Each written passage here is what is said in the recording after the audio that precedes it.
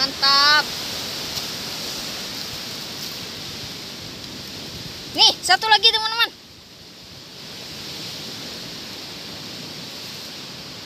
Nih, ada lagi.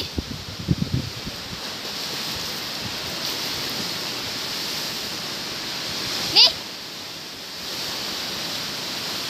Banyak sekali. Widih.